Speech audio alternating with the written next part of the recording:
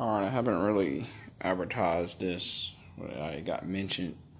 I'm doing dual stock heat exchangers. This is my first mock-up of it.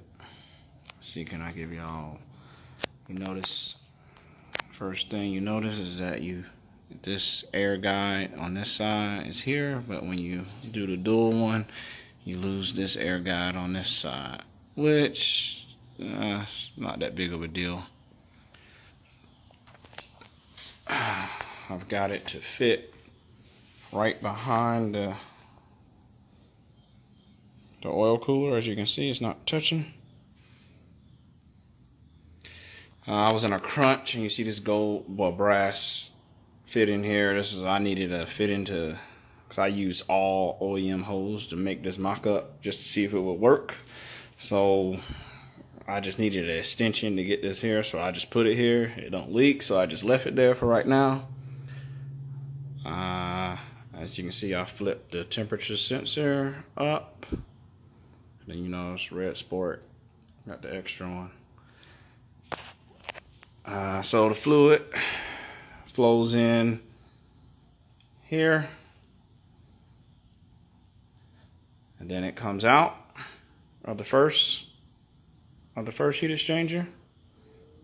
Flows down to the second heat exchanger and then gets pumped right here down and you'll see right here this goes almost all the way this hose right here goes all the way up to the top and then here's your your pump that all the silver sports have your normal pump and you can see it's connected here too so it's a push-pull system if y'all haven't you know if y'all don't already know that as far as fitment,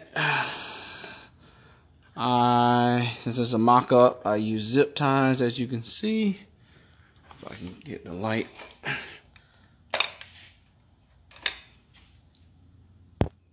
Right here.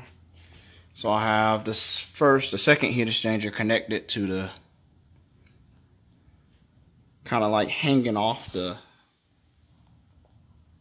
the original heat exchanger. And then the original heat exchanger bolt is still there. And then because of some clear, little bit of clearance issue right here, it's off by about a half of an inch. So I'm not able to connect this right back to the hole that's right here. So another hole right here that usually would go in. So it's about a inch of clearance issue right there. And that's mainly because of the type of hose I use. As you can see, it kind of butts up. So if you got a silver sport, you won't have this issue at all. I'm looking into a way of doing some holes that can bend, bend a little bit more.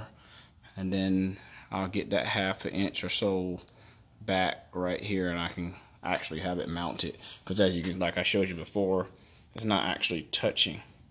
Well, I kind of did something to keep it from touching, but I'm not going to speak on that right now because I'll be probably kidding this in a little while. So I may, I added some clearance here, but I'm not going to really speak on how I did that yet. But this is the setup. I've been running it for a couple of months. And well, maybe two months or so. Have not got a single leak.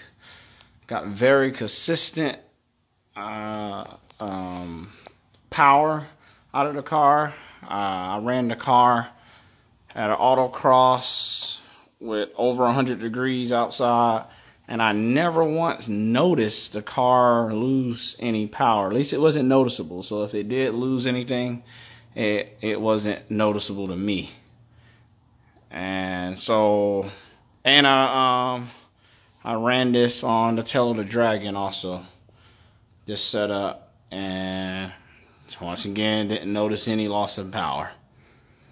And you know how, anybody who's been on a Tail of the Dragon, you know how that goes. So, I just wanted to actually show the setup. So this is a very low cost alternative uh, to maybe, you know, some of the more expensive uh, heat exchanger upgrades. and then it's also alternative for the more cheaper one that everybody does. And this could turn out to cost about the same as your cheaper, was it frozen boost? Probably cost about the same to do it. But, you know, you get, as you can see, I'm using all OEM stuff. So, and seemed to work. And then the only difference that I mainly wanted to do is I didn't just want to do one big heat exchanger. I wanted a dual pass heat exchanger. So first one is going to take the initial heat of the charge air cooler uh, fluid coming. And then it's going to get cooled again through this one. So I like that better than having one big one. And like I said, I haven't noticed any heat soak. And but I am stock tuned, but and I have down pipes and Y pipe and you know I use dry element filters, so the car got a little bit more power. But I haven't noticed any heat soaking, and in general, my charge air coolers are are you can touch them no matter what I've done. I tested it on Tail of the Dragon. After running the mountain up and down, I immediately pulled over the car, touched the charge air coolers, and they were still like cool. So I know it's doing its job. But I'm not tuned yet, so I can't give you any log data. So whenever that happens, I'll uh, I'll have that data out. But anyway, that's my setup. Uh, hope y'all enjoy.